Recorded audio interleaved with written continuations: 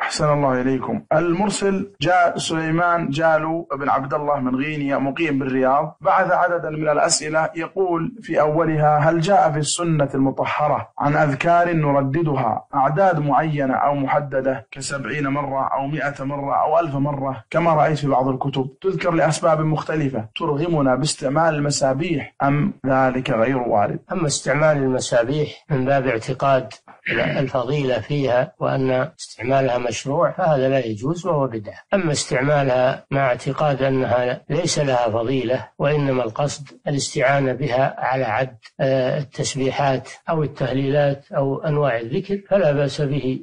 إذا لم يعتقد فيها فضيلة ولا أنها مشروعة وإنما تستعمل من أجل العد فقط كما يستعمل الإنسان الحصى للعد ويستعمل أصابعه للعد كذلك المسبحة. ولكن الأفضل أن يسبح المسلم بأصابعه لأن الأصابع مستنطقات ويحركها بذكر الله عز وجل. وأما أعداد الذكر فيقتصر على ما ورد في الأحاديث. من قال لا إله إلا الله مئة مرة غفرت له ذنوبه في اليوم مئة مرة غفرت له ذنوبه وإن كانت مثل زبد البحر بعد الصلوات المفروضة آه، يسبح الله ثلاثا وثلاثين ويحمده ثلاثا وثلاثين ويكبره ثلاثا وثلاثين ويقول تمام المئة لا إله إلا الله وحده لا شريك له له الملك وله الحمد وهو على كل شيء قدير. فالواجب عليك الرجوع إلى كتب الأذكار الصحيحة مثل كتاب الأذكار للإمام النووي وكتاب الوابل الصيب للإمام ابن القيم وكتاب الكلم الطيب لشيخ الإسلام ابن تيمية وتحفة الأخيار للإمام الشيخ عبد العزيز بن باز رحمه الله. فهذه الكتب هذه كتب صحيحة وألفها أئمة مشهورون